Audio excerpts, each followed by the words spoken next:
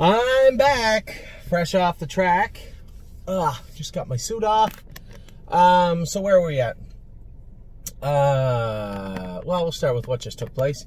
Just for me and you, and during strength, unfortunately landed in the same race. Uh, Travis floated out of there with enduring strength, and Scott Coulter kind of run him out of the five hole. I opened up the six hole, and he went to back enduring strength into the into the hole, and he, he was in the middle of the turn, and he rolled off. So um, you know, in hindsight, I wish I drove Enduring Strength, and that's not a dig on Travis. Travis does a good job. I just know the horse better. So uh, that was unfortunate, but it happened. So uh, the way the new rules are, I don't think. No, I know Enduring Strength doesn't have to uh, doesn't have to qualify now. He needed a good line tonight as far as speed goes. So I think probably it makes more sense to take him over Wednesday and train him in 57 at Mohawk and get that tightener in him that we needed. It's unfortunate, but it's not uh, the end of the world. Forged in Fire is in to go at the Meadows. Finally, we sent him there in February. He's finally in to go in June. Oh, goodness, what a disaster. Uh, Forged in Fire uh, hopefully has grown up a little bit and used this time to uh, relax. He was doing pretty good things for us. Actually, Travis won with him right before we sent him to uh, the Meadows, so hopefully he picks up where he left off. Frontier Cruise, a little flat the other night again. Both him and Sunshine and Shade have not come back good. Now, two different scenarios. Frontier Cruise has been adequate. Uh, it's been adequate, but um, not poor. Sunshine and Shade has been abysmal. His last two. Um, so uh, we need to work on one and really just focus and and uh, push the other guys. So Frontier Cruise is not going to be racing in the grassroots. There's always that prospect side, which is like the third tier. And then we have the overnights. But my goodness, he's got to pick his pants up here. He was racing better in in uh, the mid season of his two year old season than he is right now. Giddy up, Max, uh, come back kind of how I thought I was worried he might. Just kind of so so. Pace 56 the other day. Now, in fairness to him, no. In fairness to him, um, in fairness to Giddy Up Max, that was his first start back. So let's throw him a bone. Uh, not a big deal there. Uh, I'm not coming tomorrow to drive him in the last race. I think maybe Travis or uh, Jason Reiner driving. I'm not sure. Globe trotting. Uh, I wouldn't say it was the most beautiful. It wasn't uh, graceful, but powerful nonetheless. Globe trotting looked fantastic last night. Out of the nine hole, crossed over to the front. 55 and 1. Trace Tetrick did a great job driving her. So good, in fact, he'll likely get the assignment next time. Pretty hard for me to take T, Trace T. I'm not going to scurry across the border, leave my family, because uh, I can't come back, right? I have to quarantine. So I would have to leave, which I, I will do eventually, uh, probably the first part of July uh, when the babies go over. But since Trace already got a good start into all the three, three of these horses, got a real good feel for them last night, Trace, if he wants to come drive them in Northfield, who am I to say no? Absolutely, thank you. Uh, Harness AM was entered for Monday or Tuesday, but I don't think she got in. I think hopefully she'll get in on Thursday. Hometown Boys is racing tonight at Kawartha Downs. Again, is he grassroots material prospect, which is the third tier? I don't know, but I can tell you this: he's better right now than he's ever been in his entire life. Kevin likes him. I like him. He's starting. I think he's turning the corner. I think he's turning the corner. So we'll see how far down that road he gets now that he's turned the corner. But Hometown Boys is Indigo tonight. I'll play it alone is Indigo also at the Meadows on Monday or Tuesday or Wednesday. I'm not sure yet. Uh, he hasn't raced in a while. Hopefully he uses this time to his advantage also. Inland Beach is Indigo Monday at Grand River. Kicked that wall and had that bruise in her, her hind ankle, so she's going to be a little bit short. But uh, Geez, Mario's had a bad run at the start, hasn't he? But I can assure you, looking at his roster of two-year-olds, that will come to an end soon enough. Uh, as I said to him the other day, you know, the whole Nancy Allison thing, and Rooney was no good here last week. Now Enduring Strength just made a break. It's tough, man. It's tough on a trainer when these things happen. But, you know, the old adage rings true in this game so, so many times. When it rains, it pours. And, um, it can turn around just as quick. So, uh, rough start to, to the 2020 stakes season-ish for uh, Mario Bergeron, but I'm sure he'll bounce back just fine. Inland Beach is in on Monday. Johan didn't get in this week. He'll be entered in to go as soon as he can. Uh, just for me and you. Just raced her right there. Now, I was stuck three wide getting into the last turn. You can't be three wide with just for me and you. She gets a little hikey in the turns. You just can't be there. You know, I knew it was coming and I was going to drop back to the inside, but the inside looked as, just as dead as the outside. I rolled the dice, took my chances. Uh, she stayed at it, finished up fifth. I don't know, she trotted 59, 58 in a piece, but I thought she raced rather well in doing it. So, um, just for me you, a good start for her. She'd like Woodbine, much, much better. That's where she should probably be. Her next start is Woodbine. Knockdown, drag out, maybe Thursday. I know I told everybody Thursday for sure. I am going to, we went with her today. She was okay. Uh, possibly Thursday. I'm going to say 75% chance of knockdown, Dragout coming out on Thursday. I'm really just trying to get her to, here's my problem, right? Uh, she shut her air off last week, so that means there was a little bruise in her palate. Last thing you want to do is try and race a bully horse back after they've shut their air off. Case in point would be cruising in style. It's very difficult to fix that problem, and it can only compound if it just goes unaddressed like it didn't happen. So, will she be fine? I'm sure she'll be fine. Um, I'm to get a good look at her. You know what I might do? It's Saturday today. I'm to jog her Sunday and see how she feels. That's what I will do, and I'll make my decision after that. Uh, Miss Brampton Beast is back in here, coming off a real, real good second and 53. Again, I don't know where this filly fits, grassroots or overnight or whatnot. Um, 53 and 4, there was a time that would mean you were the best horse in Ontario. Now it just means you're competent, competitive. So she drew the rail again. She's a good drawn bugger anyway. She drew the rail again here on Tuesday. Muscle Chrome racing tonight. She's likely a prospect filly. Will likely work her way up to condition, condition claimer, condition type things throughout the summer. But there's nothing wrong with doing that. And that can be an effective horse if she puts it all together into the summer, throughout the summer, and into the fall. So that's where we're at with Muscle Chrome. She is in with Hometown Boys tonight. I don't think she can beat Hometown Boys. Had I known they were just drawing together, I don't know how I didn't know that, but if I didn't, had I thought of that, they wouldn't have been entering on the same day, but they were. We're going to get a start into Muscle Chrome tonight. Nancy Allison, an absolutely horrific race the other night. Uh, she warmed up so good. She was so quiet in the post parade and then paced. I, I don't know why. We tested her feet today. Mild soreness in her feet. Took her AST level, her muscle count, not high at all. Maybe it was her. Maybe it was just her feet. Uh, do a little work on her this week, and we'll race her I'm gone away. No, I'm not gone next Saturday. No, I'm not leaving. Might bring her right here next Saturday. That's a possibility for Nancy Allison. Need your opinion race great last night. Third closing, 53 and 4. Probably pace 54 in a bit, I guess 50, maybe 52 and 4. I don't know. She raced good. She finished third. She was closing up. Really impressed with Need Your Opinion. Olympic Hopeful, I don't think has raced yet. I got to reach out to Andy, Angie and talk about Maintenance Man, who, why didn't I talk about Maintenance? He's not on here. There's the horse that I missed. Maintenance man. Oh, because he's not a three-year-old. That's why. Silly me. Uh, Olympic hopeful. I'll reach out to Andy, to Angie this week. She should be in to go soon, uh, or maybe even racing tonight. But I will find out today. Path of Totality made a break the other night. Um, a, a, few little tinkering changes need to be done with her. She's close. She's right on the right on the cusp of being fine. I think uh, Kevin and I discussed it after three or four minor little things I think will make a big difference with this filly, and we're going to make those changes and race her back next week. Really Blue Chip is back in to go. This will be an opportunity if she gets rough down the lane at Woodbine, and there's lots of lane at Woodbine Mohawk Park. If she gets rough down the lane, finishing up her mile this week, the hobbles will go back on her immediately. Not very happy about this whole um, making a break last week, costing yourself a win.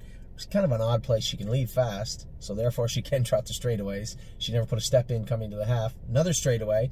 Moved her down the backstretch three wide. Another straightaway. Just the one on the end of the mile she seemed to have a problem with. So it's a little frustrating.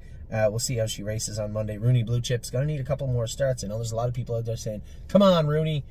Rooney is a giant. He's a big baby, and he needs a couple of starts. Is he going to be great at Mohawk? No, probably not. I'd like to grab some money with him, have him finish up his mile good, and get him back on track. He didn't really like Georgian Downs, didn't get away well, didn't really respond well when we moved him.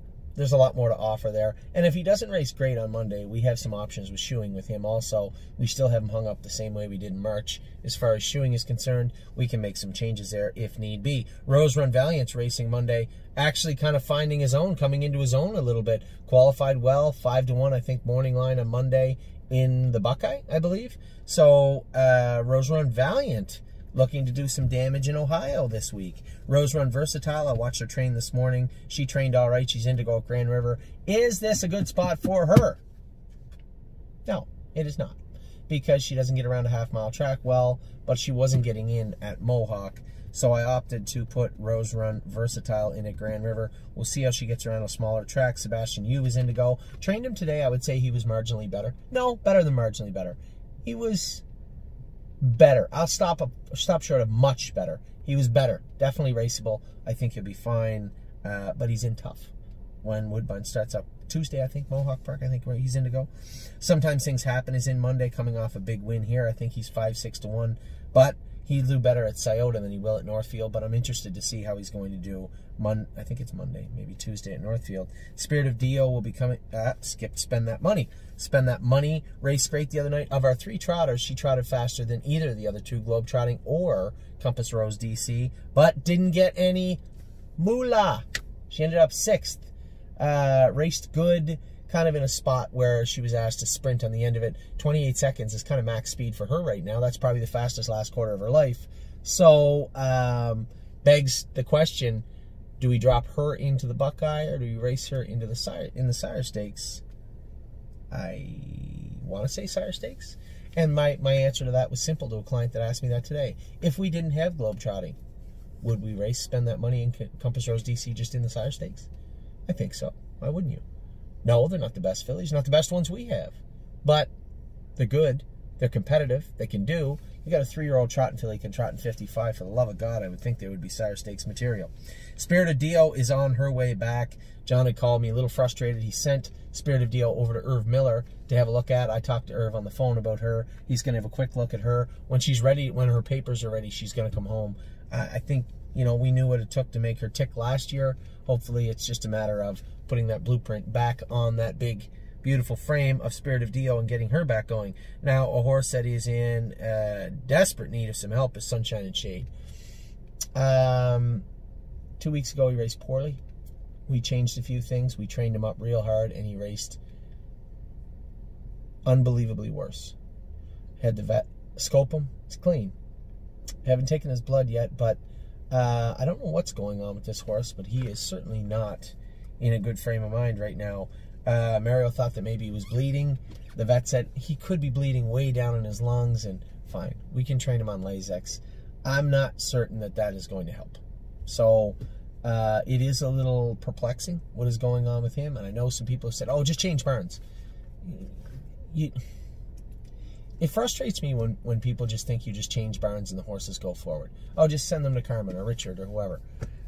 No, we're not doing that. And uh, I, I, understand that that people just think that um, you know, listen, many people have bought horses off us, claimed horses off us, and not too many of them have gone forward. And that's because you can say a lot about other trainers or these trainers, but all the trainers we employ are professionals. They do their job very well. They take their job very seriously. And what's going on with Sunshine and Shade right now isn't going to be fixed by getting on a truck and going to a different barn. And we're going to look into it. We're working as hard as we can to fix it, but it just seems like I saw him today. Walk down the shed row. He didn't eat all his hay cubes. He was laying in the corner. You know, just looked like he was in a funk, which he may be. So how do we fix that? It's a great question. Uh, it would help if we knew definitively what the issue was. I assume there'll be something in his blood that will give us an indicator. Um, as of right now, it's not his airway, so that's good. It's not allergies. It's not his heart. It's not his lungs. So hopefully, um, he's not lame. So hopefully there'll be something show up in his blood work that will give us an idea of what is going on with Sabat, with uh, Sunshine and Shade. I understand that people are frustrated, and I'm frustrated, and, Mario is very frustrated. But at the same time, blaming people because the horse isn't as good as we need him or want him to be right now, or even as good as he even remotely could be right now, should be. Um, you know, throwing blame at people doesn't help. But I know people don't want to. I know, you know, I'm, I'm the same way, right? I don't want to be sunshine and shade. I'm pissed off too. But at the same time, these are living, breathing animals, and you know, um, you'll have nights where some horses can work through stuff, right? Globetrotting's not near 100%. Still won a sire stakes, sire stakes elimination. Um, and then you have other horses like Sunshine and Shade that clearly something is eating away at them. Finished up the track. So um, you need to recognize that every horse is a little bit different, just like every human is a little bit different. And the argument can be made, well, maybe somebody else would just get along with him better. What I saw today laying in the stall was not a horse in search of a new trainer. It was a horse that was just kind of in a bad spot right now. He's not he's not ailing, he's not sore, he's not hurting. He's just in a funk. So we'll see if we can shake shake some of the ring rust off our boy Sunshine and Shade this week. You probably won't see him resurface for a couple of weeks until we figure out what's going on. Usually some good exercise will help them come out of whatever's bothering him, but it would help if we knew what that was. So we'll be relying on the blood work for the first of the week to tell us that. Susie K raced great the other day, second in two minutes, probably one of the best miles of her life. She was coming too, another much less than a quarter of a mile and she wins. Another, I don't know, five feet and she gets there. But she raced well. Uh, she always tries though. She's just a trier. Beautiful filly. Trafalgar was an absolute freight train the other day. Jason Ryan had asked me if she was going to be back in to go here. We entered her back in, but she was a little bit over the class. Entered her at Mohawk and didn't get in. She'll be in to go. A lot of horses are being entered, right? If you look at the box right now, sure, Georgia might have eight races where they usually have 10 or 12, right? Same as Kawartha, even Sarnia, um, Grand River. So um, what they're trying to do is get everybody raced, and there's still a lot of horses here. I suspect when the stake programs start up, a lot of these non-winners of two, non-winners of three, non-winners of one classes will free up some space. But until that happens, you get this this log jam of non-winners one, two, and three horses, and you see it right now with our horses. Didn't get in that well this week.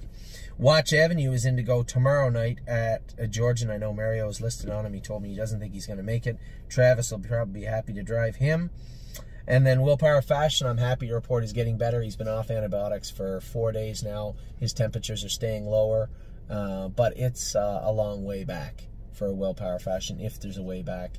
So uh, that's a discussion we have to have with our clients that own Willpower Fashion with me. I'm the vast majority owner of him. I fell in love with him at the sale, and I've owned him ever since. And uh, he was really close to being in an, in an incredibly difficult position and putting me in an incredibly difficult position.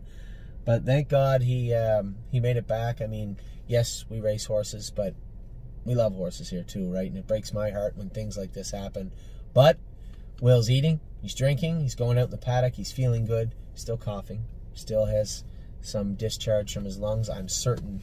Um, I don't know what kind of uh, damage, if any, long term was done, but I know he needs a lot of time off to recover. So, Willpower Fashion appears to maybe, hopefully, be out of the woods. And once he has got a, a clean uh, bill of health where he hasn't been on antibiotics, he doesn't need any inflammatories to keep his temperature down, he's eating, he's coming back around. At that point, he goes to a nice big green field for um, an undetermined amount of time. Uh, Zeb Sunshine raced great here last week. He's not back into go. Jeez, we're having a real tough time getting these horses back into go, right? And not much I can do about that. Uh, I just explained why. I, su I suspect Zeb Sunshine, you'll see him show up at Mohawk on Thursday or so. Hopefully, Zeb Sunshine looked great here last week. A little rolly late in the mile. I'm pretty sure between Kevin and I, we know exactly what took place and we are moving to combat that. But Zeb Sunshine clearly got a ton of speed first over at the 3 8 out, out all the way. And if I had have had a little more confidence down the lane that he wouldn't make an error, I still would have won by an easy length. But he get picked off the wire. That happens. So I'm all done here at Georgian Downs. It's 8 o'clock. I'm going to head home. Tomorrow I'm going to finish up. We got a very, very in-depth look at the two-year-olds, what's going on with them, what I see happening with them. Some of them might make starts next week. Maybe some of them right here. So I'll be talking to you guys in just, not just a minute. Talk to you tomorrow, which is Sunday, and let you know all about how the two-year-olds are this week, where I see them going, what I see them doing, who I liked. Did I have some issues with some of them? If so, what were they? Be back to you guys really soon.